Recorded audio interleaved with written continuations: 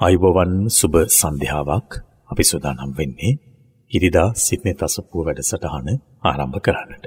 අදත් ඒ සඳහා ගෞරව නමස්කාර පූර්වකව ආරාධනා කළා බෙලිහුල්ලොය සීල සමාහිත ආරණ්‍ය සේනාසන වාසී ආචාර්ය රාජකීය පඬිත පූජනීය බලංගොඩ රාද ස්වාමින් වහන්සේට. උන්වහන්සේව බොහොම ගෞරවයෙන් නමස්කාර පූර්වකව පිළිගනු ලබනවා. පූජනීය වන්දනීය බලංගොඩ රාද ස්වාමින් වහන්සේට ආරාධනා කරනවා සිත්නේ තසපුව ධර්මානුශාසනාව පවත්වන්නට. අවසරයි ස්වාමීන් වහන්ස. සාදු සාදු සාදු. සමන්තාචක්කවාලේසු අත්න්ත්‍රාගත්හන්තු දේවතා සද්ධම්මං මුනිරාජස්ස සුනන්තු සංගමොක්හදම් ධම්මස්සවන කාලෝ අයං භදන්තා ධම්මස්සවන කාලෝ අයං භදන්තා ධම්මස්සවන කාලෝ අයං භදන්තා සුවිසුද්ධ සීලේසු සින්ධූපමස්ස සමාධි ධම්මේසු පට්ඨවී සමස්ස අනන්තඥානේසු ගගනූපමස්ස නමාමි සිරසා සිරිගෝතමස්ස පිරිසිදු සිල්කන්ද සමුදුරසේමා නිසල සමාධිය මිහිකතසේමා අනන්තඥානය අහසක් සේමා. සිරිපා අභියස පිණිපාවේවා මෝහන්ධකාරේසු සුරියෝපමස්ස සංසාරසෝතේසු සේතුපමස්ස දෝසප්පවාහේසු මේ ගෝපමස්ස නමාමි සිරසා ධම්මාම තස්ස.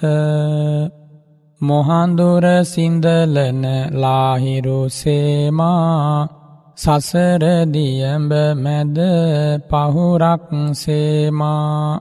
කෙලෙස් කිලුටු හල වැස්සක් සේමා සදහම් රුවනට පිණිපාවේවා පටිපත්තිසාරේසු සම්මාටිතස්ස උජුභූත මග්ගේසු යානාගතස්ස කුසලේසු ධම්මේසු කෙත්තෝපමස්ස නමාමි සිරසා සුගතෝ රසස්ස පිළිවෙත් සරුවෙයි සුවඳක් සේමා දම්රස දනවයි මිහිරක් සේමා.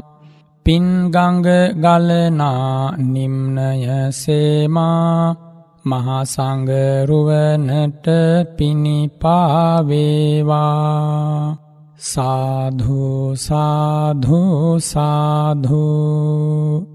නමෝතස්ස භගවතෝ අරහතෝ සම්මා සම්බුද්ධස්ස නමෝතස්ස භගවතෝ අරහතෝ සම්මා සම්බුද්ධස්ස නමෝතස්ස භගවතෝ අරහතෝ සම්මා සම්බුද්ධස්ස සත්තිමේ භික්හවේ ධම්මා සපත්ත කන්තා සපත්ත කරනා කෝධනං ආගත්හන්ති ඉත්තිංවා පුරිසංවාති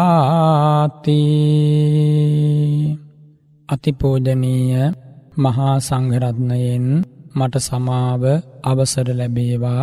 ශ්‍රද්ධාවන්ත පින්වතුනි බුදුරජාණන් වහන්සේගේ විරාගේ හදමඩලින් මතු වෙලා මහනෙල් මල් සුවඳ සඳුන් සුවඳ පැතිරෙන සුදුබුදු රැස් දහාර මතුවන සිරි මුවමඩලින් අෂ්ඨාංග සමන්නාගත ස්වර මාධූර්යයෙන් දේශනා කළ මිහිරි ධර්ම පරයායකට ඔබේ පින් ඇති සවන්යුග හදවත යොමු කරන්නයි බලාපොරොත්තු වන්නේ.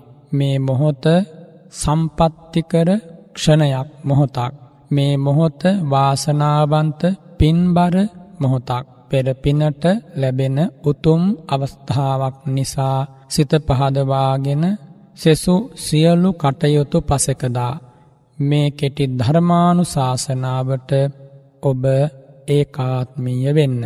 බුදුරජාණන් වහන්සේගේ හදපිරි මහා කරුණාව පැතිරෙන අපූරුව මෙ මිහිරි දහමින් ඒ දහම් අරුත් විමසමින් ඔබට හඳුනාගන්ට පුළුවන්. බුදු කෙනෙකුගේ කරුණා දහරින් සුවපත්වෙන්ට බැරිවුනොත් මේ ලෝක වෙන කාගේ නම් කරුණාවකින් අපි සැනසෙන්නද. මහා කරුණාවෙන් සැනසිල්ල හොයාගන්ට බැරිවුනොත් මේ යන්තං කරුණා මෛත්‍රී ඇති උදවියගේ වචනවලින් කිවුම් කෙරුම්වලින් කොහොම නම් අපි සැනසෙන්නද. එනිසා මේ මහකරුණාවෙන් වදාළ මිහිරි බුදු බණයි ඔබ මේ ශ්‍රවණය කරන්නට සූදානම් වෙන්නේ. තලගල කිරිවත් උඩුව අංකහාර්සිය පණහාසේ හත නිවසේ පදිංචි MRA චන්ද්‍රාවතී මැනිකේ මහත්මිය තමයි අද මේ උතුම් ධර්මදානමය පින්කම සිද්ධ කරන්නේ. පිවිතුරු පැතුම් හදවතේ දරාගෙන මේ සිද්ධ කරන මහා ධර්මදානමේ ආනිසංස බලයෙන් මෙලොව පරලොව ජයගෙන සසර ජයගැනීම පිණිස උතුම් පාරමිතාවක් වේවා කියල මම ආශිරුවාද කරනවා පළමුකොට ප්‍රාර්ථනා කරනවා. අද මම ධර්මදේශනාව සඳහා මාතෘකා කරන්නට යෙදුනේ තත්හාගත බුදුරජාණන් වහන්සේ සැවැත්පුරනුවර දෙව්රම් මහා වෙහේරේ වැඩ සිටින කාලේ දේශනා කොට වදාළ මිහිරි ධර්ම පරයායක්. එහිදී තත්හාගතයන් වහන්සේ වදාරනවා පුද්ගල මනසක් ක්‍රෝධයෙන් පලිගැනීමෙන් වෛරක්කාරභාවයෙන් ගැටීමෙන් ආකූල වුනොත් එයින් වන්නා වූ ආනිය විපත අවැඩ පිළිබඳව තත්හාගෙතයන් වහන්සේ ධර්ම පරයායෙන් දේශනා කරනවා. කාලවකවානුව ගත්තත් අප මේ ජීවත්වන මිනිස් මනසේ ක්‍රෝධය නැමැති පට්ටිගය නැමැති චෛතසික ධර්මය බලවත් වන යුගයක්. වැඩි වැඩියෙන් මිනිස් මනසේ දවේශමූල සිත් පහළ වෙන හැඩයක් දැකගන්ට ලැබෙන නිසා මේ ධර්ම පරයාය අපි කාටත් ඉඳුරාම වැදගත් වෙනවා දවේශය නැමැති අභ්‍යන්තරගින්නෙන් දැවී පිලිස්සී අලු වෙලා නැසී වැනසී යන්නට පෙර මෛත්‍රේ නැමැති සිසිලසින් ඒගින්න නිවාගන්නට මේ ධර්ම පරයාය මහෝපකාර වෙනවා. අපි මේ ලෝකයේ දවේශයෙන් වෛරයෙන් හැසිරෙන වාරයක් පාසාපින්වතුනේ ඒ සෑම මොහොතකම අපේ ජීවිතයට ලැබෙන්නේ යහපතක් නෙමෙයි. ඇතුලාන්තයේ ගින්නක් ඇබිලුනහම ඒ ගින්න ඉස්සෙල්ලාම දහනය කරවන්නේ තමන්ගේ අභ්‍යන්තරයයි.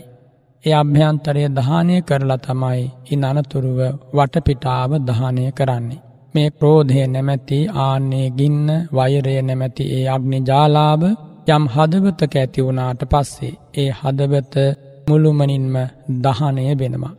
සාමාන්‍යෙන් ගින්නකින් වනයක් ගිනිගන්නවා වගේ නෙමෙයි. ඒ ගින්න කවදා හෝ නිවිලයයි. ලැවගින්නක් වේවා වෙනයම් ගින්නකින් වේවා ගෞගණනක දිගපලල ඇති රූක්ෂ ගස් සහිත මහවනයක් මාසගානක් නෙවෙයි අවුරුදුගානක් යුගගානක් දැබිල හෝ ඒ ගින්න නිවී යාවි. ඒ ගින්න නිවෙන්ට හේතු තියෙනවා. වඩුසාාවෙන් නිවේවි. ඒ ගහකොළ පිලිස්සි අවසන්වීමෙන් සිඳීයාවි එබඳු හේතුවකින් ඒ ගින්න නිවීයාවි එනමුත් හදවත්තක ඇතිවන බාහිරට දුම් දමනවා නොපෙනෙන ඇතුලාන්තයේම දවාලන දවේශය නැමැති අග්නිජාලාව ගින්න පිංවතුනේ කල්ප ගණන් නිවෙන්නේ නෑ. බද්ධ වෛරයෙන් කෝන්තර හදාගෙන කල්ප ගණන් මහා කල්පවලින් මේ ක්‍රෝධය නැමැති ගින්න පැතිරිලා ඇදිලා වෙලිලා පැටලිලා යනවා. එනිසා මේ කියන කාරණය බොහෝම හොඳින් හිතට ගන්න. පුංචි තැනකවත් හිතේ කොස්සක් වෛරයක් තියාගන්ට එපා කා කෙරෙහිවත් මොනම සිදුවීමක් කෙරෙහිවත්. මෙ කරුණ අමාරුවෙන් නමුත් හිත්පලටගෙන තමන්ගේ හදවත දවා අලු කරන අනර්ථ ජනනය කරවන ක්‍රෝධය දුරු කරන්න කටයුතු කළ යුතුමයි. බුදුරජාණන් වහන්සේ වදාළ සත්‍යමේ භික්කවේ ධම්මා සපත්ත කන්තා සපත්ත කරනා ඕධනං ආගච්ඡන්ති. ඉත්තිංවා පුරිසංවා. මහනෙන වෛර කරන අයට කාන්ත වූ වෛර කරන අයට ප්‍රියමනාප වූ. වෛර කරන වෛර කරන පුද්ගලයන්ට ප්‍රයෝජනවත් වූ. වෛර කරන පුද්ගලයන්ට ප්‍රයෝජනවත් කෙනකින් අදහස් කරන්නේ. වෛර කරන පුද්ගලයන් මෙන්න මේ ආකාරයෙන් තමයි තම සතුරාට හදවතේ වෛරය උපදවන්නේ මෙන්න මේ කාරණාවලින්. එතකොට වෛර කරන අයට රිසි වූ ධර්මතා හතක් තියෙනවා. ආන්නේ ධර්මතා හත ඒ කිපෙන සුළුවේ වෛර කරන කාන්තාවට හෝ එහෙමනැත්තාගේ පුද්ගලයාට හෝ පෙරලා පැමිණෙනවා. ඔහු වෛරකරේ තමන්ගේ සතුරාට තමයි. සතුරාගේ විපත තමයි අපේක්ෂා කළේ. එනමුත් සතුරාට අපේක්ෂා කළ විපත ඔහු කරාම පැමිණෙනවා. ආන් නිබඳු ධර්මපරයායක් තමයි තතාගතයන් වහන්සේ මේ දේශනා කරන්නේ. කාරණා හතක් තමයි මේ සූත්‍ර දේශනාව තුළ අන්තර්ගත වන්නේ. සතුරෙක් නැතම් වෛරක්කාරයෙක් තම සතුරා සම්බන්ධයෙන් හිතනාකාරි. වෛරී පුද්ගලයෙක් තවත් පුද්ගලයෙක් සම්බන්ධයෙන් මෙන්න මෙහෙම හිතනවා. ඔහුගේ අයස කැමති වෙනවා විපත කැමති වෙනවා දුක කැමති වෙනවා පාඩුව කැමති වෙනවා අලාභය කැමති වෙනවා හැබැයි එහෙම කැමති වනාට පෙරලා තමා කරාම ඒ අහිත අබැඩ්ඩ අලාභය පාඩුව පැමිණෙනවා. ආන්හෙම පැමිණෙන ආකාර හතක් මේ ධර්ම පරයායේ අන්තර්ගත වෙනවා. බලන්න ඔබේ ජීවිතෙත් මෙ බඳු හීන මනෝභාවයන් තිබේ නම් ඉඳුරාම පිටු දකින්න මේ ධර්ම පරයාය ප්‍රයෝජනයට ගන්න. කත මේ සත්ත ඒ කරුණු හත ඒ පරයායන් හත මොනවාද. ඉද භික්කවේ සපත්තෝ සපත් අස ඒවං ඉච්හති. මහනෙන මේ ලෝකයේ සතුරා තමාගේ සතුරාගෙන මෙන් මෙහෙම දෙයක්ේ සතුරාගේ ජීවිතය බලාපොරොත්තු වෙනවා. වෛරී පුද්ගලයා තවත් පුද්ගලෙකු ජීවිතේ මෙන්න මෙහෙමදයක් බලාපොරොත්තු වෙන මොකක්ද අහෝවතායන් දුබ්බන්නෝ අස්ස මේ පුද්ගලයා දුරුවරණයෙක් වෙනවනම්. අවලස්සන කෙනෙක් වෙනවනම් හොඳයි. තංකිස්ස හේතු ඇයිහෙම බලාපොරොත්තු වන්නේ. නැ භික්කවේ සපත්තෝ සපත් අස වන්න වතාය නන්දති. කවදාවක් හතුරා තම හතුරාගේ ලස්සන දකින්න කැමතිනෑ. කෙනෙක් කෙනෙක් එක තරහ වුණොත් ඒ පුද්ගලය කැමති නෑනේ හෝගේ ලස්සන දකින රූපය ලස්සන දකින්න හරි ජීවිතය ලස්සන දකින්න හරි හැඩ වැඩ දකින්න හරි කෙසිසේත්ම කැමතිනෑ. කොයි තරං හොඳ දෙයක් කළත් ඔහුට පේන්නේ නරකක් ලෙස. කොයි තරම් ලස්සනක් වුණත් ඔහුට පේන්නේ අව ලස්සනක් ලෙස. කොයි තරං වැඩ සැලසීමක් වුණත් ඔහුට පේන්නේ අවැඩ සැලසීමක් ලෙස. හේතුව තමයි තම හදවතේ තියෙන්නේ මහා ගින්න ක්‍රෝධයක් වෛරයක් ගැටීමක් තියෙන්නේ. එතකොටේ වෛරක්කාරයට කවදාවත් ප්‍රතිපාක්ෂිකයාගේ හොඳක් පේන්නෙම නෑ. එනිසා හු කැමති වෙන්නේ නෑ කාල ඇඳල ඉන්නව දකින්න ලස්සන්ට ඇඳුමක් ඇඳල ඉන්නව දකින්න හොඳ වාහනයක යනව දකින්න ඒවට කැමති වෙන්නේ නෑ. හේතුව තමයි සපත්තෝ සපත්තස්ස න වන්නවත්තාය නන්දත්. සතුරා සතුරාගේ වර්ණවත් බවින් සතුට වෙන්නේ නෑ බලන්න බුදුරජාණන් වහන්සේ මේ ධර්මපරයාය දේශනා කරන අපූරුව. එතකොට කෝධනෝයම් භික්කවේ පුරිස පුද්ගලෝ කෝදහාබී භූතෝ කෝධ පරේතෝ මේ ක්‍රෝධ කරන පුද්ගලයා නැත්තම් මේ වෛර කරන පුද්ගලයා ක්‍රෝධයට යට වෙලා ඉන්නේ. ක්‍රෝධය පරමකොට ජීවත් වෙන්නේ. ක්‍රෝධයෙන්මයි කල්පනා කරන්න අවදි වුණත් වෛරේ නින්දට යන්නෙත් වෛරයෙන්. ඇයි ඔහු අපේක්ෂා කරන්නේ තම සතුරා හෝ සතුරු කැලහෝ විනාස වෙනවා දකින්න. ඔවුන්ගේ කිසිම හොඳක් දකින්න කැමති නෑ.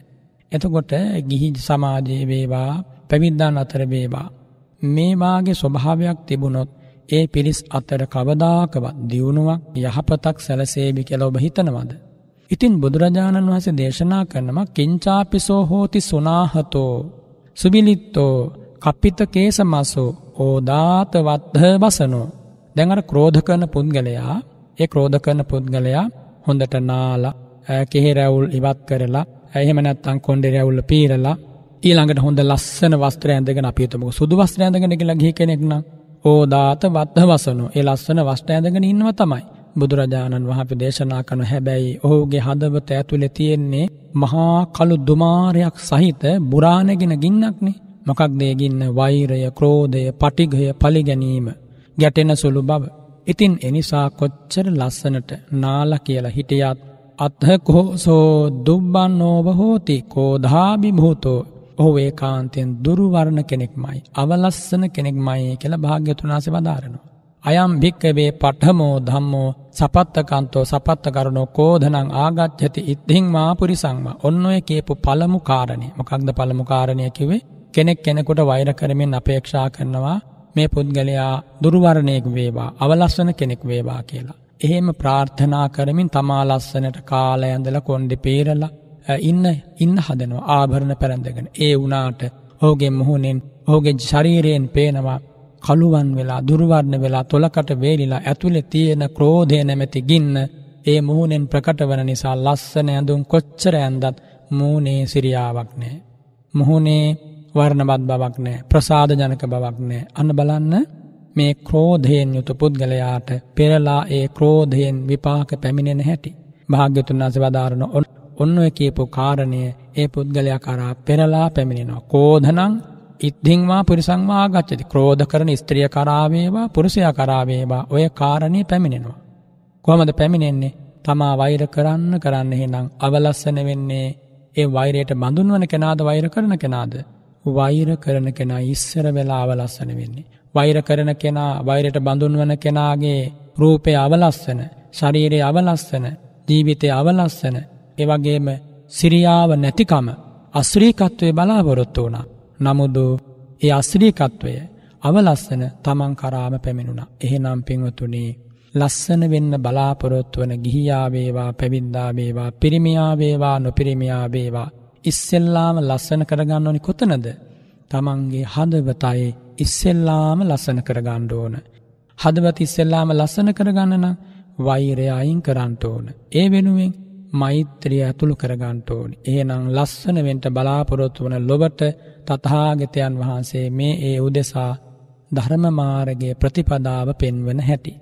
අනිවාර්යෙන්ම හදවත ලස්සන වෙනකොට මුහුණේ වර්ණය ලස්සන වෙනවා ජීවිතය ලස්සන වෙනවා හැම පැත්තෙන්ම වර්ණමත් පිවිතුරු පිරිසිදු ජීවිතයක් එයාට ලැබෙනවා.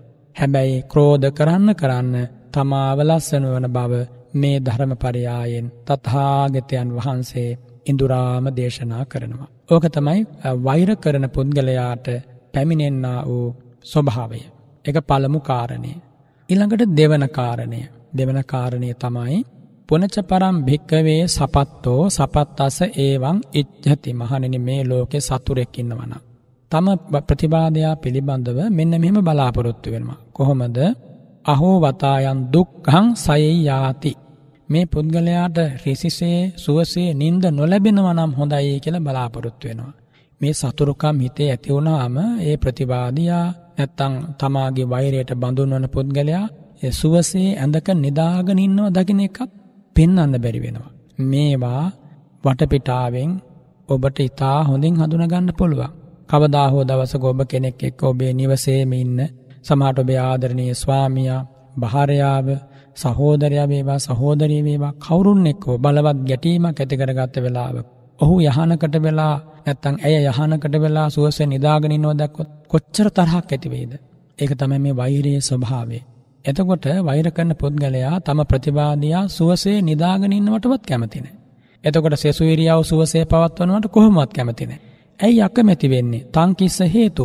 ඒකට හේතුව බුදුරජාණන් වහන්සේ දේශනා කරනවා න භික්කවේ සපත්තෝ සපත්තස සුඛසෙය්‍යාය නන්දති මහණෙනි මේ ලෝකේ සතුරා සතුරෙකුගේ සුවපත් නින්ද දැකලා සුවසේ නිදාගෙන ඉන්නව දැකලා කවදාවත් සතුටු වෙන්නේ නැහැ. කෝධනෝ යම් භික්කවේ පුරිස පුද්ගලෝ කෝදාමිභූතෝ කෝධ පරේතෝ ඒ පුද්ගලයා ක්‍රෝධයෙන් පරවශ වෙලා ක්‍රෝධයට යට වෙලා වෛරයෙන් පිරිලයි ජීවත් වෙන්නේ. එනිසයි තම ප්‍රතිවාදයාගේ සුවපත් බව සුව නින්ද සුව සැනසීම සුව සහනය බලාපොරොත්තු නොවන්නේ. කිංචාපිසෝ පල්ලංකේ සේති ඉතින් දැන්ගේ වෛර කරන පුද්ගලයා තමාට හිමි නිවසේ තමාට හිමි යහනේ තමාට හිමි සුව මන්දිරයේ තමාට හිමි කොට්ටමෙට්ටවල උඩුවියන් බැඳලා පාවඩ ඇතුව හැම පහසුකමක් මැතුව හොඳ ඉර්තුගුණයක් ඇති කාමරයකට වෙලා මහා මන්දිරයකට වෙලා ඔහු නිදාගන්න හදනවා. කවුද දැඟට වෛර කරන පුද්ගලයා. තම ප්‍රතිවාදයාගේ සුවපත් භාවය අපේක්ෂා නොකළ. තම ප්‍රතිවාදයාගේ සුව නින්ද රුස්සන්නේ නැති. මේ පුද්ගලයා තමාට හිමි යහනෙ හෝ මැදුර හෝ තමා නිදන තැන සුවසේ නිදාන්නට. කොට්ට හදාගෙන මෙට්ට හදාගෙන රෙදි පොරවාගෙන සෝදානම් උනත් නින්ද යයිද. භාග්‍යවතුනාප දේශනා කරනවා. අත්හකෝසෝ දුක්හං ඒවසේතිකෝ ධාභී භූතෝ ඔහුට සුව නින්දක් නෑ. ඇයි ඒ ගින්නක් තියෙනවන ඇතුළේ ඉතින් හදවත නිවිලනෑනේ නිමිත්ත නැති හදවතක් තියෙන පුද්ගලයාට කොහොමද සීතල ශාන්ත නින්දක් ලැබෙන්නේ. ලැබෙන්නේ නෑ බුදුරජාණන් වහපි දේශනා කලානේද මෛත්‍රිය බඩන කෙනාට ලැබෙන ආනිසංස අතර. සුකහං සුපති සුකහං පටිබුද්ධති නපාපකං සුපිනම් පස්සති කියලා ආනිසංස තුනක්. සුවසේ නින්ද යනවා සුවසේ පිබිදෙනවා ඒ අතර කාලේ නපුරු සීන පෙහෙන්නේ නෑ පෙනුනොත් ඉතා මිහිරි සුභහීන එයාට දකිින් ලැබෙනවා. එතකොට දැන් ප්‍රෝධයෙන් නින්දගත්තුත් එනං යාට සුකන්සුපති කියන කාරණය නෑ සුව නින්දයාට නෑ. එනම් දුක්කං සුපති. දුකසේමයි ඔහු ඇඳක වැතිරෙනවනං නිදාගන්න හදනවනං නින්දට යන්නේ. දුකසේ නින්ද යනකොට සීහසෙයියාවෙන් නිදාගණ්ඩ ලැබෙන්නේ නෑ අත්පා වනත් ඇගේ ඉරියාව පැවැත්ම වනත් එහෙම තමයි. සමර දත්මිටි කනවා ඒට මේට ඇඹරෙනවා හරිහට නින්දක්නෑ අතපය බිච්චිවල ඇඳේ බදිනව සමහට ඇඳෙන් පෙරිල්ලා බිමට වැටෙනවා. ඒ ක්‍රෝධ සහගත මනසකින් නින්දට යනකොට ඔය ආදීනමට ගැතිවෙනවා ඒ කියන්නේ නින්දාගන්න වෙලාබේ දවේශමූල සිත් පහළ වෙනවා කියන එක නෙමේ නමුත් ඒ නින්දට සැරසෙන වෙලාබේ දවේශමූල සිත් පහළ වෙලා ඉන් පසු භවාන්ගෙන් සිත බැසගත්තත් අර ක්‍රෝධයේ බලපෑම එල්ල වෙනවා පින්වතුනි බලන්න සුව නින්දක්වත් නැතිවන ක්‍රෝධය නැමැති ගින්න එයින් ලැබෙන කිසිදු ප්‍රයෝජනයකුත් නැති කල්හි. මොක්කට නම් හිතක පවත්වනවද පැවින්දොත් ගිහියොත් හිතන්ඩෝනි තැනක් දියුණු වෙන්න බලාපොරොත්තු වෙනවනං කවුරු හරි මේ ලෝකෙ ගිහිවේවා පැවිදිවේවා. ලෞකිකාර්ථයෙන් වේවා ආධ්‍යාත්මිකාර්ථයෙන් වේවා උභයාර්ථයෙන්ම දියුණුව පතයි නම් අත්හලයුතු ධර්මය ක්‍රෝධයයි. අත්හලයුතු ධර්මය වෛරයයි. ඒ ක්‍රෝධය වෛරය අත්හරිනකොට ඉරිසියාව අත්හැරෙනවා. මසුරුකම අත්හැරෙනවා පුද්ගල මනසිතාම සංසුන් මෛත්‍රියෙන් යුතු මනසක් බවට පත්වෙනවා. ඉතින් බුදුරජාණන් වහපි දේශනා කරනවා දැම්මේ දෙවන කාරණය සතුරා බලාපොරොත්තු වනා අනෙකාගේ දුක්ක සහගත නින්ද. කොටින්ම කරන නිදි නොලබාම හුට ඉන්න ලැබෙන වනක් හොඳයි. මට නින්ද නොයාවා. මේ නින්ද නොයාවා කියන කාරණය පමණක් වන ඒ තුළ තවත් බොහෝ කරනු තියෙන්න්න පුළුවන්. ලෙඩවේවා විපත් පැමිණේවා යක්ෂයන්ගෙන් ප්‍රේත භූතයන්ගෙන් බය දුක පැමිණේවා අන්න ඒ වගේවත් හිත්වලට එන්න පුළුවන්. ඇයි දැන් ක්‍රෝධයෙන් ඉන්නේ මෝහනේ වෙලා වෙතියෙන්නේ හොඳ ප්‍රාර්ථනාවක් හිතේ නෑන. ඉතිං එහෙම අනිකා සම්බන්ධයෙන් ක්‍රෝධ සහගත ප්‍රාර්ථනාවක් දැන් කලා ක්‍රෝධ සහගත බලාපොරොත්තුවක් හිතේ තියෙන්නේ බුදුරජාණන් වපදේශනා කරනවා. එහි ආදීනවෙහි විපාකෙත් තමා කරාම පැමිණෙනවා. අනුන්ට දුක්සහගත නින්දක් බලාපොරොත්තුව පුද්ගලයාට කෙසිදාක තමා සුවසහගත නින්දකට යොමු වෙන්නේ නෑ. එනිසායම් භික්කවේ දුතියෝ ධම්මෝ සපත්තකන්තෝ සපත්ත කරනෝ පෝධනං ආගත්්‍යති ඉත්හිංමා පුරිසංවා.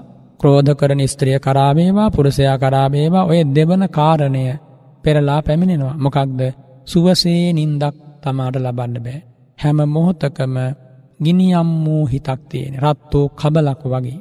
එතකොට ඒ රත්වෝ කබලක් වගේ හිත ගිනියම් වූ හිත වැඩි වැඩි වෙලාවක් පවතිනකොට කොච්චර ලස්සන කෙනෙක් වුණත් ටික දොහොකින් අබලස්සන වෙනවා. සිරියාව නැති වෙනවා. කෙහෙරැවුල් ඉදන්න පටන් ගන්නවා හම රැලි වැටෙන්න්න පටන් ගන්නවා. සමහට වයසින් බාලය නමුත් මෝරපු පෙනුමක් පේනවා. හම හරියට පොරපොතුවාගේ ප්‍රෞද්‍ර වෙනවා. ඇයි එම වෙන්නේ ඔහුගේ හිතේ තියෙන්නේ ප්‍රෝධය නිසා. ඒ ක්‍රෝධහෙමයි පිළිබිබුවෙන් ඉතින් එනිසා මෙ වහගනින් ඇත්තෝ ඉඳුරාම ක්‍රෝධය අතහරින්ට මෛත්‍රියෙන් යුක්ත වෙන උපරිම උත්සහමත් වෙන්න. අත්හල යුත්තේ ක්‍රෝධයයි. ලංකරගත යුත්තේ මෛත්‍රියයි. දැන් ඔන්න දෙවන කාරණය වෛර කරන පුද්ගලයාට පැමිණෙන. පළමු කාරණය තමයි අනුන්ගේ අවලස්සන බලාපොරොත්තු වනා තමන්ගේ අවලස්සන ඇති වුණ. දෙවන කාරණය තම අනුන්ට දුක්ක සහගත නින්දක් බලාපොරොත්තු වනා තමන්ටම පෙරලා හරිහට නින්දක්වත් ලබන්න බැරි දුක්ක සහගත රාත්‍රිය දුක සහගත අවස්ථාව ඔහුට උදාවුණා. ඉළඟට තුන්වන කාරණය. වෛර කරන අය හිතින් හිතන පතන තුන්වන කාරණය. පුනච බරම් භික්කවේ සපත්තෝ සපත්තස්ස ඒවන් ඉච්හති මහනෙනි නැවතත් මේ සතුරා. සතුරෙකු සම්බන්ධයෙන් මෙන්න මෙහෙම කල්පනා කන මෙහෙම කැමති වෙනවා. කොහොමද අහෝ වතායන්න පචුරත් හෝ අස්ස අහෝ මේ පුද්ගලයාට බොහෝ ධනය නොලැබෙනවනම් මේ පුද්ගලයාට බොහෝ ධනයන් ඇති නොවෙනවනම් පචුරත්හ කියලා කැන බොහෝ ධනයන් ධනයන් කියනකොට මේ කාසිනෝට්ටුම නෙමෙයි ගේ දොර ඉඩ කඩම් ඒවත් ධනයට අයිති. එතකොට ඒ සියලු සමස්තය තමයි මෙතන අත්හ කියන නමින් හඳුන්වාන්. එතකොට න පචුරත්හෝ අස්ස බොහෝ ධනය ඇති නොවෙනවන බොහෝ පෝසතෙක් නොවෙනවන කියලා ඔන්න සතුරා කල්පනා කරනවා. කා ගැනද තමන්ගේ ප්‍රතිවාදයා ගැන. හෝ ඒ පිරිස ගැන.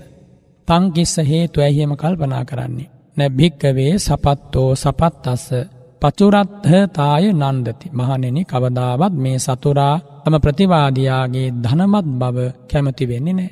ඔහු දුප්පතෙක් වෙලා අසරණයෙක් වෙලා ඉන්නව දකින්නයි කැමති වෙන්නේ. ඔහු අසරණයෙක් වෙනවා දැකලයි සතුටු වෙන්නේ. ඔහුට යමක් කමක් තියෙනවා දැකලා සතුටින් කාල ඇඳලා ඉන්නව දැකලා හොඳ යානයක් වාහනයක් පාවිච්චි කරනවා දැකලා සතුටු වෙන්නේ නෑ. මක් නිසාද හේතුව හිතේ තියෙන්නේ බොහෝම බලවත් වෛරයක්. කෝධනෝ යම් භික්කවේ පුරිස පුද්ගලෝ කෝධාභී භූතෝ කෝධ පරේතු ඒ පුද්ගලයා කොටින්ම කියනවනම් ක්‍රෝධයට යට වෙලා ඉන්නේ. එනිසයි එහෙම කල්පනා කරන්නේ. ක්‍රෝධයෙන් මැඩිලා ඉන්නේ. ක්‍රෝධයෙන් ගිලිලා ඉන්නේ. එනිසයි එහෙම කල්පනා කරන්නේ. ඉතින් දැන් ඒ පුද්ගලයා දැන් ක්‍රෝධයෙන් මැඩිලා ඉන්නේ අනුන්ගේ දුප්පත්කම්නි බලාපොරොත්තු වෙන්නේ පොහොසත්කම් බලාපොරොත්තු වෙන්නේ නෑනේ. අත්හම්පි ගහත්වා අනත්හෝ මේ ගහිතෝති මඤ්ඤති. ආන බලන්න විපත. ඔහු අනර්ථය තමයි මේ ලං කරගෙන තියෙන්නේ. දුක විපත ලං කරගෙන තියෙන්නේ. අයහපත ලං කරගෙන ඔහු හිතන මම යහපතක් ලං කරගත්තා කියලා. අන්න වරදවා ගන්නවා. අත්හම්පි ගහත්වා අනත්හෝ මේ ගහිතෝති මඤ්ඤති. යහපතක් ජීවිතයට කිසියම් යහපත් කාරණයක් ජීවිතේ තියෙනවනම් අපි හිතමුකෝ දැන් කෙනෙක් උදේ හවස සම්බුද්ධ වන්දනා ආදිය සිද්ධ කරමින් කාලයක් කල්ගෙවන කොහොමාරිම ක්‍රෝධයට වසඟ වෙලා ක්‍රෝධයට යට වෙනවා. ඊට පස්සේ හොඳ පුරුදුවේ පැවිද්දෙක පැත්තෙන්න. ඒ තුන් වේල බුද්ධ වන්දනා කරන එක ඊළඟට සාමාන්‍යෙන් දවසකට පෑදක තුනක්වත් පරයංක භාවනාවේ දෙන එක ටික වෙලාවක් නමුත් සක්මන් භාවනාවේ දෙන එක ධර්ම විනය සජ්ජායනා කරන එක ඊළඟට ධර්ම විනය උගන්වන එක කටපාඩම් කරන එක මෙව ඔක්කෝම අමතක කරලා දානවා. ඊට පස්සේ කාගේ හරි කුණු ගොඩක් හොයලා ඒක අවුස් අවුස්සා. හිතට එනවා මම මේ ශාසනය පිරිසුදු කරන්න ඕන මම මේ බුදු සසුනේ නිමල අමල බව ඇති කරන්න නමුත් තමන්ගේ හදබත තින මහාකුණු කන්දක් මහා ක්‍රෝධයක් ඉතින් මුළු දවසම රාත්‍රියම ගෙවෙන්නේ අනුන්ගේ කුණ හෝදන්න ගිල්ලා තම හදබත කුණු හිතක් කරගන්නවා. පැවිද්දෙක් නම් කසාවතයි තට්ටේ විතරයි සමහර විට හදවත ඇතුළේ ක්‍රෝධගින්නකින් දැවෙනවා. ඉතින් මෙයාට තේරෙන්නේ නෑ ඇයි තේරෙන් ඇත දැම් මෙයා අරගෙන තියෙන අනර්ථය. අනත් හම්පි ගහිත්වා අත්හෝ මේ ගහිතෝති මං්ඥති අනර්ථය අරගෙන ම මාර්ථය ගත්තා කියලා හඟෙනවා. දැන් තමන් විතර්ක ගොඩනගන විචාර ගොඩනගනවා මනසින් මෙන්න මේ කාරණය අසවල් භික්ෂෝ වැරදි මේ කාරණෙන් අසවල් ගිහියා වැරදි. ඒසාමෝට ධර්මවිනය අනුකොල ම දඩුවම් කරවන්ට ඕන ඒවනිසා ම මැදිහත් වෙන්න ඕන කියලා ඔන කුමන්ත්‍රණ ගහනවා විවිධාකාරයෙන් එකට කල්ලි කණ්ඩායම් හදාගන්නවා ධර්මයට විනයට අනු යත්හාදාම පටිකරණයට නෙමෙයි මේ එන්නේ වෙන යම් ක්‍රෝධයක් වෛරයක් පිරිමසන්න තමයි ඕ කල්පනා කරන්නේ. ප්‍රෝධයක් වෛරයක් පිරිමසමසා පිරිමසමසා තමන්ගේ හදවත කුණුවේවී ඕජස් ගලනවා. නමුත් ඒක පේන්නේ නෑ වටපිටාවින් අනිත් ඇත්තන්ගේ පිරිසුදුකම අපේක්ෂා ශාසනය පිරිසුදුකම අපේක්ෂා කරන. ශාසනයේ පිරිසුදුකම අපේක්ෂා කරන කෙනා මොනම හේතුවකින්වත් හේතුව මොකක් වුණත් තම හදවත ක්‍රෝධ සහගත කරගෙන හරියන්නේ නෑ. අනිත්තක තම යම් ගිහියකුට හෝ පැවිද්දකුට චෝදනා ගුණු කරනවනං ධර්ම විනයෙන් වැරදි පෙන්වනවන ඉස්සෙල්ලාම කරුණු පහක තමා පිහිටන්න ඕන ඒ කරුණු පයෙන් එකක් තමයි. තමා උතුම් මෛත්‍රියක පිහිටන්න ඕන. එතකොට පුතක් ජන පුද්ගලයෙක් පුහුදුන් බොහොමයෙන්න්න ගිහියකුට හෝ පැවිද්දකුට ඔය කාරණය රඳවා ගන්නවා කියන එකනම් ඇත්තමයි ලේසින. ඒ අතරත් මේ නවක ආදුනික භික්ෂුවකට එක කිසිසේත්ම කරන්න පුළුවන් දෙයක් නෙවෙයි. තින් එනිසා ඉතාම පරිසං වෙන්න ඕන තරම් මොකද ගිහියැත්තොත් පැවිද්දොත් මේවට පැටලිලා ගියාට පස්සේ ලොකු අකුසල් කරගත්ත දාට. ඒවා විඳවිල්ලක් ලෙස මතු විපාක පිණිස ඉදිරිපත් වන දාට ඒ කවුරුවත් ළඟ නැති වේවි. තමා අසරණ වෙලා යාවි. එනිසා ගෞතම බුදු සසුන ලැබුණේ අනුන්ගේ කුණ සෝදාන්ට නෙමෙයි. තමන්ගේ හදවත් ඇසුරු කරගෙන පවතින මේ කෙලෙස් කුණු සෝදා ධෝවනය කරලා ඉවත් කරන්නට තම හදවත පිරිසුදු කරන්නකො ඒ පිරිසුදු හදවතට පුදුම විදිහේ මිහිරක් දැනේවි. අනිත්තක පිරිසුදු හදවත්තකින් තමා මේ පොළොව මත ජීවත් වෙන්න උත්සාහමත් වෙන්න වෙන්න අපාරිශුද්ධියෙන් යුතු උදවිය ඈත් වෙලා යනවා. පින්වතුනි මේ සම්බුදු සසුන මහා සාගරයට උපමා කොට වරික බුදුරජාණන් වහන්සේ දේශනා කළානේ අර පහාරා දසුරේන්ද්‍රයාට එහිදී දේශනා කළා මහා සමුද්දෝන මතේන කුණපේන සංවසති කියලා කාරණයක්. මේ මහා සමුද්‍රය මලකුණු තියාගන්නේ නැහැ. කොහොම හරි ගෙනල්ලා ගොඩට දානවා, බෙරළට දානවා. අන්නේ වගේ වැරද්දක් කරලා එය පිළි නොගෙන එය සංගවාගෙන යම් පැවිද්දෙක් ඉන්නවනම් ඒ පැවිද්දා කොච්චර හංගන්න හැදුවත් මා වේවා වෙන පැවිද්දෙක් වේවා හෙළි වෙනවා. එතකොට ඒ වැරද්ද තියාගෙන ඉන්න පැවිද්දා දෙස කවුරු හරි කෙනෙක් ක්‍රෝධයෙන් පරවස වෙලා ඔහු එලවන්න කටයුතු කරනවා නම් අර පැවිද්දා කොහොමත් මේ ශාසනයෙන් ඉවත් වෙලා නැසිලා යනවා. අර සීලවන්තව ඉඳගෙන යම් බලපෑමක් කරන කෙනාටත් ඒ පරිහානිය නුදුරු අනාගතේනවා. ඒක තමයි හැටි. ක්‍රෝධයෙන් කිසි දෙයක් කරන්න හොඳ නැහැ. වෛරයෙන් කිසි දෙයක් කරන්න හොඳ නැහැ. බොහොම මෛත්‍රියක් හිතේ රඳවාගෙන තමයි වැරද්ද ඉදිරියේ වුණත් අපි පිළිපදින්න ඕනේ. ඒක ගිහියත්තන්ටත් එහෙමයි, පැවිද්දන්ටත් එහෙමයි. තමන්ගේ හදවතේ නීවරණ රාශිය බලවත් වෙනවා නම්, අකුසල රාශිය බලවත් වෙනවා නම්, කුසල් දහම් ක්‍රමයෙන් ගිලිහිලා යනවා නම් පැවිද්දෙක් ලෙස කළමනා කෘත්‍යය පැවිද්දාට බැහැර වෙලා යනවනං කිසි සේත්ම පින්වතුනි ඒ ක්‍රමය අනුමත කරන්නේ නෑ මේ ශාසනය තුළ. එතකොට මේ ශාසනය ගත්තොත්. අපේ ලොකු ස්වාමින් වහපල ක්‍රමානුකූලෝ මේ සසුනේ හයිය විරිය ලබාගෙන මහා ස්වාමීන් වහපල බවට පත් වෙලා බොහොම උපේක්ෂාවෙන් තමයි මේ සසුන දෙස මේ භික්‍ෂූන් වහපල දෙස බලන්න. එතකොට ඒ උතුමන් වහන්සේලා නියමාකාරව විනයානුකූල අවැසි තැන අවැසි පියවර ගන්නවා ධර්මයෙන් විනයෙන්. ඒ දේ සිද්ධ වෙනවා මේ බුදු සසුන කාටවත් කෙලසන්න බෑ පින්වතුනි පුද්ගලයෙකුට බෑ බුදු සසුන කෙලසන්න. පුද්ගලයෙකුට දෙන්නෙකුට තුන් දෙනෙකුට දුසිල් බවින් එකතු වුණයි කියලා සසුනක් කෙලසා ඉවත් කරන්නට බෑ. අවසන බලන්න වර්ෂයකින් හරි දෙවර්ෂයකින් හරි තුන් වර්ෂයකින් හරි. ඒ කෙලසන්න උත්සාහවත් වෙච්ච පුද්ගලයෝ නෙමෙයිද පෙරහිලා කොන් වෙලා ගැලවිලා ඉවත් වෙලා දුරින් දුරට ඉවත් වෙලා විසි වෙලා යන්නේ. ඉතින් එනිසා අපි හැම තැනකම තමන්ගේ හිත තමන්ගේ හිත පිරිසුදු කරනවා. තමන්ගේ සීලය ආරක්තා කරන්න උත්සාහවත් වෙනවා. තමා පැවිද්දෙක් ලෙස ශ්‍රමණක් කෘත්‍යය දෙන්න කල්පනා කරනවා. ගිහි පැවිද්දෝ කියන්නේ මේ ශාසනය තුළ හොඳ කෘතවේදීත්වයක් තියෙන්න එපා. තමන්ට පැවිද්ද දීපු උපසම්පදාව දීපු ආචාර්යයන් වහන්සේ ඒ ගුරුකුලය ඒ උතුමන් වහන්සේලා කෙරේ අධිමාත්‍ර ගෞරවයක් තියෙන්න ඕනි. කොටින්ම කියනවා නම් ඒ ගුරු උතුමන් වහන්සේලාගේ කිසියම් වැරැද්දක් දැක්කත් එව්වට උරණ වෙන්නේ නැතුව බොහෝම අනුකම්පාවෙන් කටයුතු කරන්න ඕනි. තනින් තැන ගිහිල්ලා විවේචනය කර කර ගුරු උතුමන්ට ඇදුරුතුමන්ට උපාධ්‍යායන් වහන්සේලාට ඒ ගුරුකුලයට නින්දා කර කර හැසිරෙන්න ගත්තොතින් පිරිහෙන්නේ ඇත්තුමයි. තින් එනිසා මේ උතුම් බුදු සසුනේ හික්මෙනවා කියන එක බොහෝම නුවනින් සිද්ධ කරන්නට ඕන. ගිහියත්තොත් එහෙම තමයි මේ බුදු සසුන ඇසුරු කරන්න. එනිසා ඒ කාරණය බොහොම හොඳින් හිතට ගන්න. ඉතින් බුදුරජාණන් වහබ දේශනා කරනවා දැන්නේ ගිහියා බේබා පැවිද්දා බේබා තස්සි මේ ධම්මා අඥමඥං විපච්චනීකා ගහිතා. දීඝරත්තං අහිතාය දුක්හාය සංවත්තන්ති. දැන් අර්ථය අනර්ථය ලෙස අනර්ථය අර්ථය ලෙසෙන දැම්ම අරගෙන තියෙන්නේ. මේ ක්‍රෝධය නිසා. එතකොට ඒ පුද්ගලයාට මොකද වෙන්නේ බොහෝ කාලයක් දුක පිණි සාහිත පිණිස අනර්ථය පිණිස පවතිනවා. අයංකෝ භික්කවේ තතියෝ ධම්මෝ සපත්තකන්තෝ සපත්ත කරනෝ කෝධනං ආගච්ඡතේ ඉත්හිංවා පුරිසංවා ක්‍රෝධ කරන ස්ත්‍රිය කරාවේවා පුරුෂයා කරාවේවා ඔය කියපු තුන්වන කාරණය පෙරලා පැමිණෙනවා. ඒ කියන්නේ තමා දුප්පත් වෙනවා. ගුණයක් නැතිව ගුණයෙන් පොහොසත්කමක් නැතිව දුප්පතෙක් බවට පත් වෙනවා. අනාර්ථයේ පැටලී ගිය කෙනෙක් බවට පත් වෙනවා. අර්ථයෙන් ගිලිහී ගිය කෙනෙක් බවට පත් වෙනවා. ඊළඟට හතරවන කාරණය.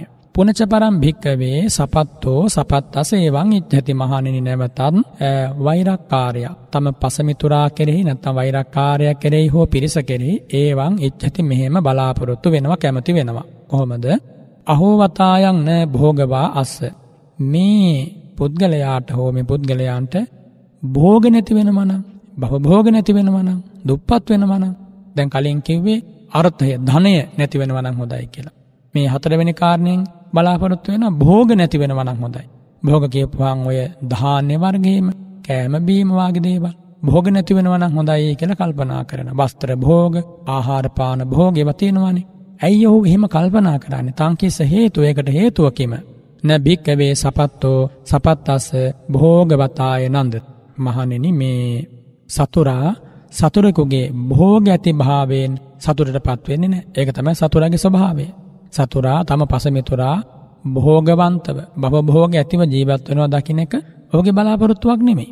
මක්නිසාද කෝධනස්ස භික්කවේ පුරිස පුද්ගලස්ස කෝධාමි භූතස්ස කෝධ පරේතස්ස ඒ පිස්සතේ හොන්ති බොහෝගා එතකොට ක්‍රෝධයෙන් යුතු පුද්ගලයා ක්‍රෝධයට වසඟ වෙලා ක්‍රෝධයට යට වෙලා ඉන්න හින්දා ඒ ක්‍රෝධයෙන් යුතු මොහොතේ ක්‍රෝධයෙන් යට වෙලා ඉන්න මොහොතේ අනිකාගේ භෝගවත් භාවය ඔහුට රුස්සන්නේ නෑ කෙනෙක් දුප්පත් වෙලා ඉන්නවා. දැන් දුප්පත් වෙලා ඉන්නකොට කෙනෙක් බෝසත් වෙලා ඉන්නවා දකිනවා.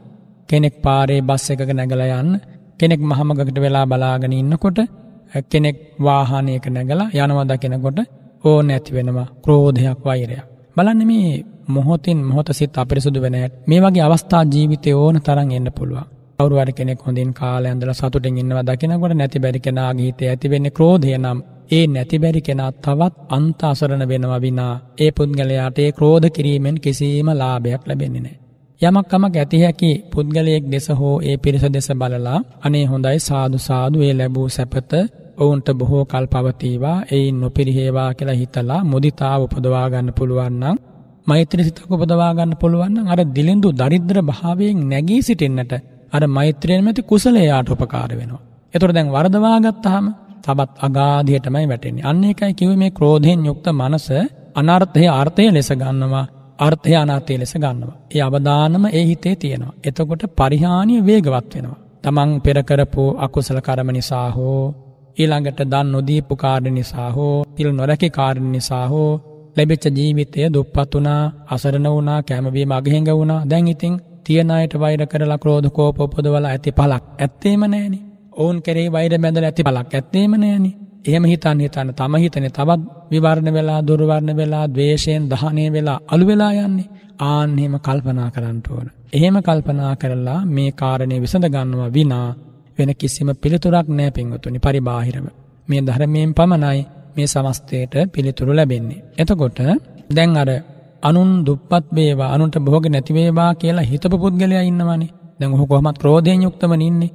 දැන් ඔහු ළඟ තියෙනවා උට්ඨාන විරියාධිගතා බාහා බල පරිචිතා සේදාවක් හිත්තා ධම්මිකා ධම්මලද්ධා භෝග. ඔහු ළඟ තියෙනවා ධර්මානුකූල උපයාගත් භෝග.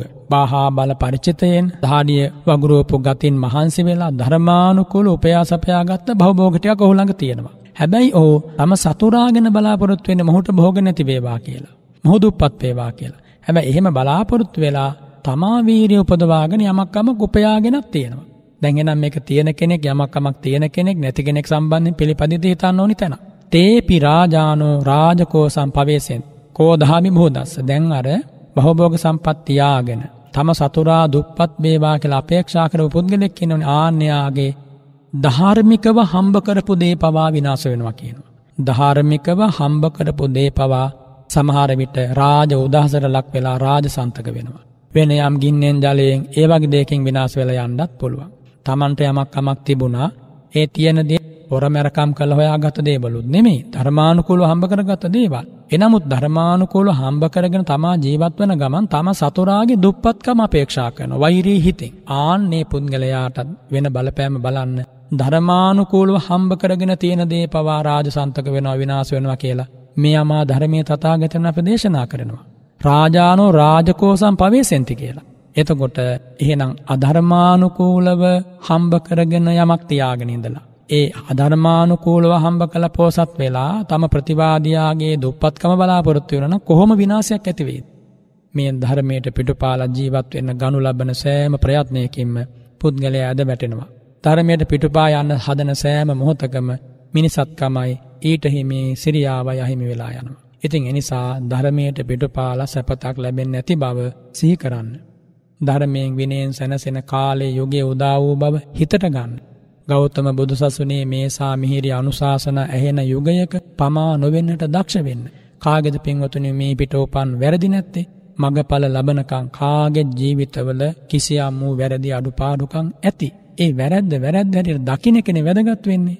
දැකලා ධර්මයෙන් විනයෙන් ඊට පිළියම් කරගන්න කෙන ඊළඟ කාරණය සටකපටි මායාවී නොවි. ගිහියාද පැවිද්දාද තම වැරදි හඳුනාගෙන වහාමීට පිළියම් කරගෙන ධර්මයෙන් විනයෙන් නැගී සිටින්න බලාපොරොත්තු වෙනවනම් දෙවියෝ වුණත් උපකාර කරනම. එනිසා අපි තනි වෙන්නේ නෑ මේ වැරද්දක් දෙකක් වෙච්ච පමණින් සදා කාලයෙන්.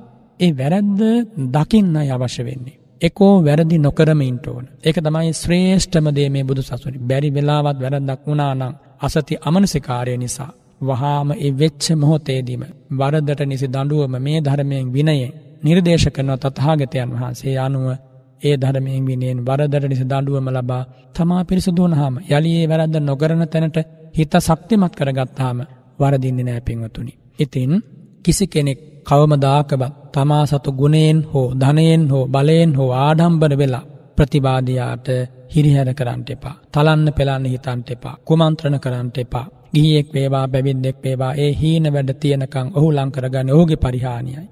මොකට ද පිහිම පෙරිහිලා යන්නේ ලස්සන මිනිසත් බවක් මේ සෞතුම් බුදු සසුන මේ විදිහට ලබාගෙන ඉතින් ඒ ගැන හිතන්න. ඊළඟට පස්වන කාරණයක් බුදුරජාණන් වහන්සේ දේශනා කරනවා වෛර කරන පුද්ගලයා කරා පැමිණෙන. පුනචපරම් භික්කවේ සපත්තෝ සපත් අස ඒවන් ඉච්චති මහණනි මේ ලෝකෙ සතුරා සතුරෙකු ගැන මෙහෙම කල්පනා කරනවා මෙහෙම කැමති වෙනවා. කොහොමද අහෝවතායන්න යසවා අස්සාති. මේ මගේ සතුරාට යසස නැති වෙනමන කීර්ති නාමයයි පිරිස් බලයයි එකතු වෙලා ගොඩනැගෙන යසසක් තියෙනවනේ ආන්නේ යසස නැති වෙනවන ඔහු තනි වෙනවනං හොඳයි කියල බලාපොරොත්තු වෙනවා. පිරිස් බලය නැති වෙලා හිතවතුන් නැති වෙලායි. එකන යසස පිළිගැනීම යශෝරාවය ඒ අදහස් කරන්නේ පිළිගත් බව කීර්ති නාමය මෙව නැතිවෙනවනං හොඳයි කියලා කල්පනා කරනවා. ඇයි හෙම කල්පනා කරන්නේ. නැභික්කවේ සපත්තෝ සපත් අස යසවතාය නන්දති මහණනි සතුරා තම ප්‍රතිවාදයාගේ යසසින් සතුටු වෙනි නෑ. ඔහුගේ කිතු ගොස පැතිර යනව දැකලා ඉවසන්න බෑ රුසන්නේ නෑ. ඒකයි ඔහු තම සතුරාට යසස නැතිවේවායි ප්‍රාර්ථනා කරන්නේ. යෝපිස්ස සෝහෝති යසෝ. පමාදාධීගතෝ තම්හාපී ධන්සති කෝධාභිභූතෝ බුදුරජාණන් වහ දේශනා කරනවා. දැන් මේ වෛරක්කාර පුද්ගලයා තම ප්‍රතිවාදයාගේ යසස නැතිවෙන එක බලාපොරොත්තු වනානි නමුත් තමා උපයාගෙන තියෙනව යම් යසසක්. තමන්ගේයම් පිළිගැනීමක් කීර්තිනාමයක් ජන සමාජයේ තියෙනවා. දැන් ඒ කීර්තිනාමය වනත් තම්හාපි ධන්සති අර ක්‍රෝධය නිසා ක්‍රෝධාභී භූත භාවය නිසා උපයාගත්ත ඒ කීර්තිනාමයක් ඔහුට නැතිවෙනවා. එන යම් කීර්ති නාමයක් පිළිගැනීමක් ජනතාව අතර ප්‍රියමනාප භාවයක් දිනාගෙන ඉන්න ගිහියාද පැවිද්දාද කිසි සේත්ම අනෙකාගේ කීර්තිනාමය නැතිවෙනවා දකිින්ට හොඳනෑ. ඒම දැක්කොත් අනෙකා මේ ජන සමාජයෙන් අපවාද උපවාද එල්ල වෙලා නිගා එල්ල වෙලා නින්දා එල්ල වෙලා පිරිහිලා යනවා දකිනකනම් අපේක්ෂාව පෙන්වතුනි. තමනුත් ඒ විදිහේම පරිහානියකට නුදුරු නොබෝ මොහොතක නතු වෙනවාමයි මේ ධර්ම පරියාය අනුවයි මම එහෙම ප්‍රකාශ කරන්නේ මගේ පුද්ගලික අදහසක් අනුව නෙමේ. තින් බුදුරජාණන් වහන්සේ පැහැදිලිම දේශනා කරනවා තමන් උපයාගත්ත කීර්ති නාමය යසස ධර්මානුකූල උපයාගෙන තිබුණත් ඒක නැති වෙලා යනව කියනවා තමා තව කෙනෙකුගේ යසස නැති වේවා කියලා හිතුවන. බලන්න දැන් එනම් හතුරුකම් කරන පුද්ගලයා ඒ හතුරුකම් කරන්න පාදක කරගත් අදහස්.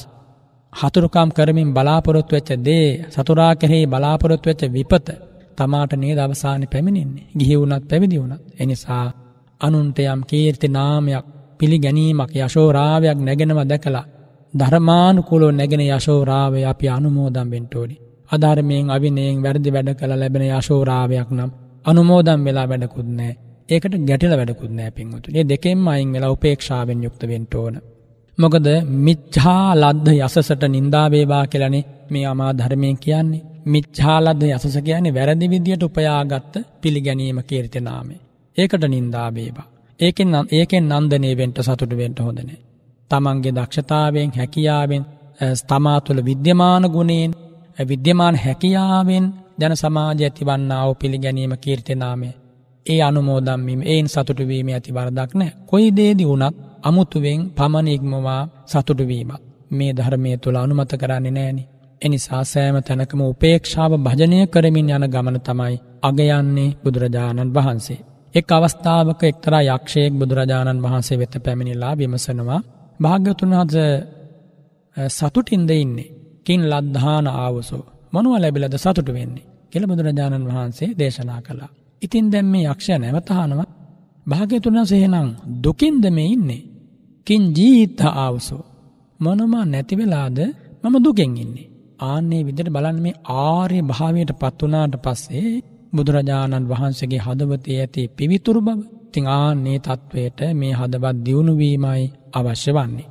ඉතින් දැන් අනුන්ගේ අයස බලාපොරොත්තු වනා තමා කරා අයස පැමිණෙනවා. අයම් භික්කවේ පංචමෝ ධම්මෝ සපත්තකන්තෝ සපත්ත කරනු කෝදනං ආගච්චති ඉත්තිංම පුරිසං. ඔන්නොයි පස්වෙනි කාරණය. වෛරක්කාර කාන්තාව හෝ පිරිමියා කරා පැමිණෙනවා. එළඟට හයබන කාරණය. පුනිචපරම් භික්කවේ සපත්තෝ සපත්තස ඒවන් ඉච්චති මහනෙන මේ සතුරා තමන්ගේ ප්‍රතිවාදයාගෙන මෙහෙම කැමති වෙනවා. කොහොමද? අහෝ වතායන්න මිත්තවාස මගේ මේ ප්‍රතිවාදයාට මිතුර නැති වෙනවන කලින් කිව යසස මෙතන කියලා මිතුරන් නැති වෙනවන ඒ ඇන තනි වෙලා කොන් වෙනවනං හොඳයි කියලා කල්පනා කර අසරණයෙක් වෙන වනක් හොඳයි බලන්නේ හිතන්න හොඳයිද කියලා කවරුවත් ගැන තංකිස්ස හේතු.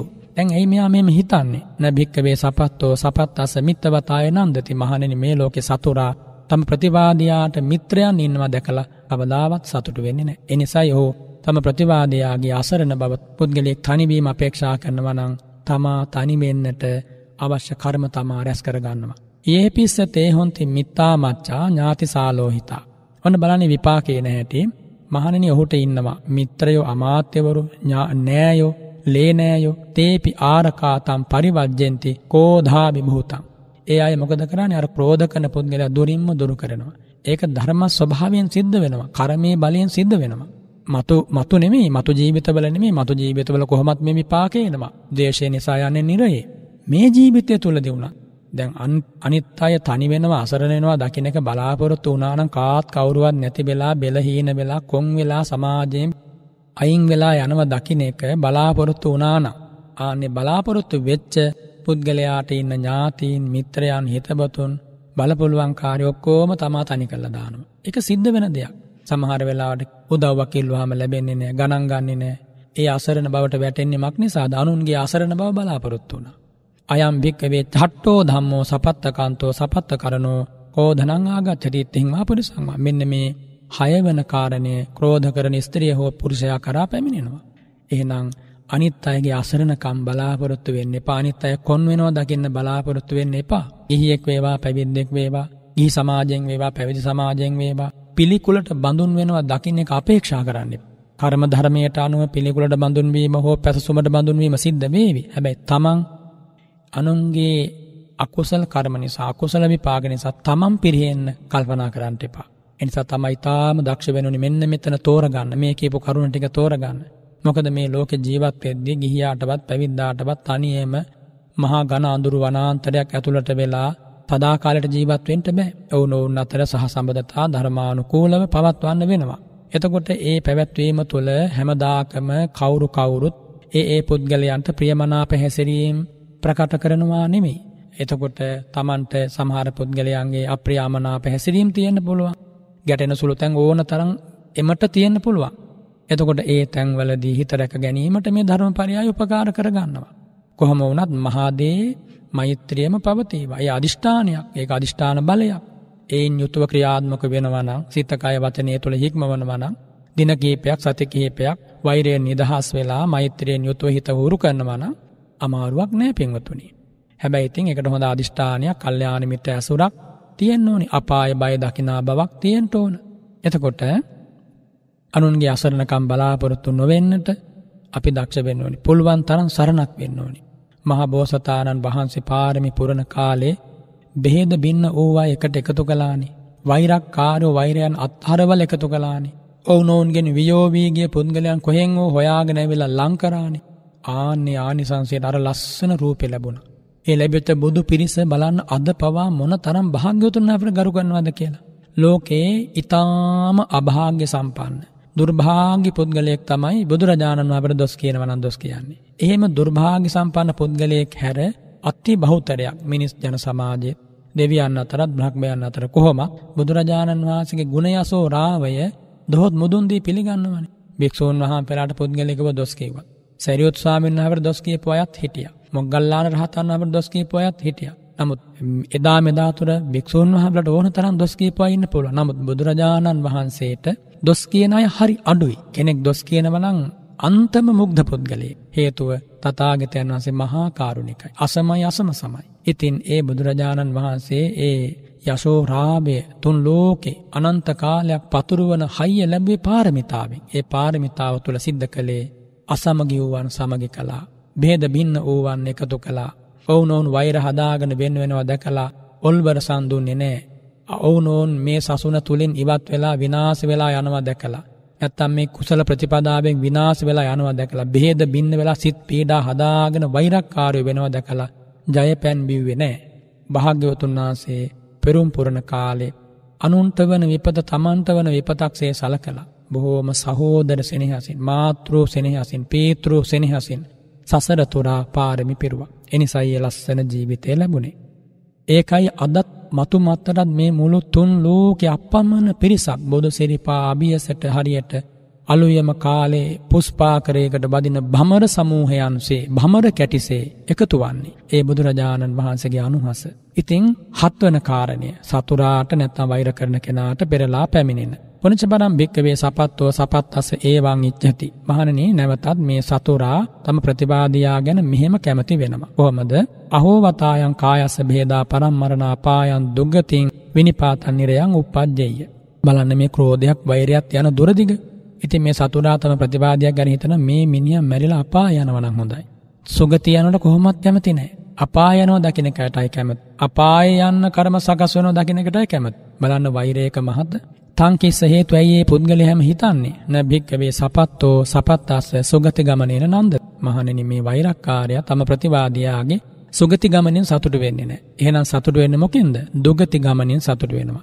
අනුන්ගේ සුගති ගමනින් සතුටු නොවන තම ප්‍රතිවාදයාගේ දුගති ගමනින් සතුටු වන පුද්ගලයාට ඔබ හිතනවද සුගතියක් හිමිවේ කියලා. ඕධනෝ යම් භික්කවේ පුරුස පුද්ගලෝ මහණන මේ පුද්ගලයා ක්‍රෝධයෙන් යුක්තයි. වෛරයෙන් යුක්තයි ක්‍රෝධ පරේතයි. ඒ ක්‍රෝධ පරේත භාවයෙන් යුතුව කායන දුච්චරිතන් චරිතය ඔහුවේ හැසිරෙන කයින් දුසිරිතේ. වාචාය දුච්චරිතන් චරිතය වචනයෙන් දුසිරිතය හැසිරෙන්නේ. කයෙන් වචනයෙන් දුසිරිතය හැසිරෙනවා කියන කොහොමත් මනසා දුච්චරිතන් චරති. මනසින් දුසිරිතය හැසිරෙනවා කියන එකයි. සෝකායේන දුච්චරිතන් චරිත්වා ඒ පුද්ගලයා කයින් සිතින් වචනයෙන් දුසිරිතය හැසිරලමකක්ද කරගන්නේ. කය බිඳී මරණින් මතු දුගතියේ වැටෙනවා නිරේ උපදිනවා.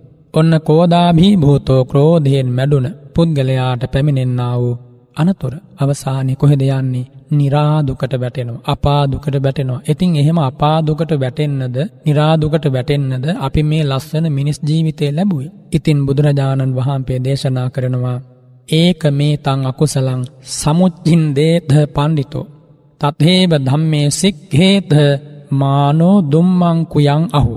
මේ එකම අකුසලයක් වන ක්‍රෝධය පිරුදකින්න දේශය දුරුකරන්න බහිරය අතහරින්න ගැටීම කොහමරි අතහැරලදාන්න ධරමයේ හික්මෙන්න මකු වූ පුද්ගලයෙක් ගුණමකන පුද්ගලයෙක් වෙන්න එපා කියලා බුදුරජාණන් වහම දේශනා කළා. වීතකෝධා ක්‍රෝධයෙන් වෙන්න වූ අනායාසා ක්‍රෝධයෙන් වෙන්න වූ නිසා ගැටීමක් නෑ වීතකෝධා අනායාසා වීතමෝහා අනුස්සුකා දන්තාකෝධං පහත්වාන පරිනිබ්බන්ති අනාසවා කියල මේ දේශනාව අවසාන කරමින් තතාගතයන් මාසි වදාලා.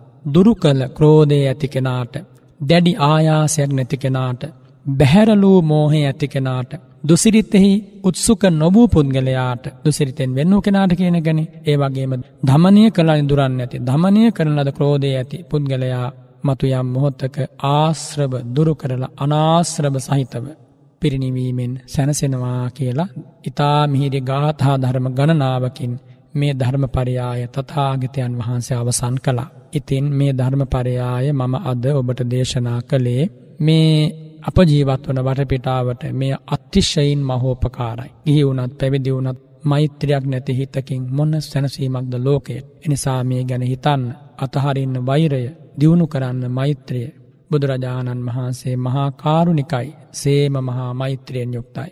මහාකරුණාවයි මහා මෛත්‍රය එකතු වෙලා ඒ හදින් පැරණැගුණ සිසිල සක්බඳු ධරමයෙන් රත් වූ සිත් ඉතිහාසේ තුරා නිවී ගියා. මතුමත්තටත් නිවී යනවා. ශ්‍රී සද්ධරමය අමා වැස්සක්. අමා වැස්සක් බඳු ශ්‍රී සද්ධරමයෙන් ඔබ හදවත නිවී තෙමි පහන්ව සිසිල්ව මෛත්‍රියෙන් යුතුව සුවපත් වේවා කියල මම අද ආශිරුවාද කරනවා. අද දින ධර්ම දේශනාවේ ධර්මදායකත්වය දරන්නේ තලගල කිරිබත්තුඩුව අංකහාර්සය පනාසී හත නිවසේ පදිංචි MRA චන්ද්‍රවති මැනිකේ උපාසිකා මාතාව අභාව ප්‍රාප්ත ලුවිස්සිං්ඥෝ පුංචි නෝනා විජය සුන්දර ආරය රත්න හැන්සි නෝනා දෙමවපියන්ට ඒ වගේම වර්ග පරම්පරාව සියලු දෙනාටම අද පුුණ්‍යානුමෝදනා කරන්න බලාපොරොත්තු වෙනවා. ඒ වගේම පෙබරවාරි නවවන දින දහවන උපන්දිනය සමරණ අනුහස් මුණපුරාට පෙබරවාරි දහාවන දින උපන්දිනය සමරණ පසිදු මුණපුරා කියන ඒ ආදරණය දරුවන්ට ආශිර්වාද කරනවා. එවගේම සහන්සි මිනිපිරියට විදේශගතව සිටින චමින්ද පොතොළුවන් ඇතුළු නදුනි දියණිය ඇතුළු පවුලේ සියලු දෙනාටම බොහොම මෛත්‍රියෙන් ආශිර්වාද කරමින් අද මේ උතුම් ධර්ම දානමය පින්කම සිද්ධ කරන්නේ පවුලේ සියලු ඥාතීන්ට හිතබතුන්ට ලක්වාසී ලෝවාසී සියලු දෙනාටත් මේ උදාරතර ධර්මයේ ආශිර්වාදයේ මිහිර ලැබේවා කියලා ප්‍රාර්ථනා කරනවා. දෙවියන් සහිත ලෝකයේ මෙපින් ලබත්වායි අපි පුණ්‍යානුමෝදනාව සිද්ධ කරමු. ආකාසට්ඨා ච බුම්මට්ඨා දේවානාගා මහිද්దికා පුඤ්ඤන්තං අනුමෝදිත්වා චිරං රක්ඛන්තු ශාසනං ඉදං වෝ ඥාතිනං හෝතු සුඛිතා හොන්තු ඥාතයෝ එත්තාවතාච අම්මේහි සම්භතං පුඤ්ඤ සම්පදං සම්මේ සත්තා අනුමෝදන්තු සබ්බ සම්පත්ති සිද්ධියා ධර්මශ්‍රවනානි සංස බලයෙන් සියලු දෙනාගේ හද සන්තාන දහම් ප්‍රීතියෙන් විකසිත වේවා කියල මම ආශිරුවාද කරනවා. අභිවාදන සීලිස්ස නිච්චං බද්ධා පචායිනෝ චත්තාරෝ ධම්මා වඩ්හන්ති ආයුවන්නෝ සුකං බලං ආයු ආරෝග්‍ය සම්පත්තේ සංග සම්පත්ති මේමච අත්හෝ නිබ්බාන සම්පත්තේ ඉමිනාතේ සමිජ්ජතු සාදු සාදු සාදු. සිත්නෙත් අසපුව ධර්මානුශාසනාව නිමවට පත්වනේ අපේ පූජනීය ගරුදේශකයාණන් වහන්සේ බලංගොඩ රාධ ස්වාමින් වහන්සේට නිදුක් නිරෝගී දීර්ඝායුෂ උතුම් ධර්ම අවබෝධය ප්‍රාර්ථනා කරමින් අපි විරාමයකට යොමු වෙනවා. net FM බණ YouTube නාලිකාවෙන් මේ ධර්ම දේශනාවන් නැවත අහන්න ඔබට පුළුවන් වගත් බොහොම ගෞරවයෙන් සිහිපත් කරනවා. net FM බණ YouTube නාලිකාව ඔස්සේ ඔබට මේ දේශනාවන් නැවත ශ්‍රවණය කරන්නට පුළුවන්. ඉතින් අපි ඔබට ආරාධනා කරනවා අපව subscribe කරන්න net FM බණ YouTube නාලිකාව. ඒ වගේම ඔබට ධර්ම දායකත්වයෙන් දරන්නත් පුළුවන් මේ ධර්ම දේශනාවල 07.4 25204 07.4 25204 0112 50 70යි 79 50 70 80 මේ දුරකථන අංකයට කතා කරලා ඔබට ධර්මදායකත්වය දරන්න පුළුවන්. ඒ අරයොමත් කරමින් සිතෙත සොපින් අපි කෙටි විරාමයක් ලබනවා. හැම දිනකටම තෙරුවන් සරණයි.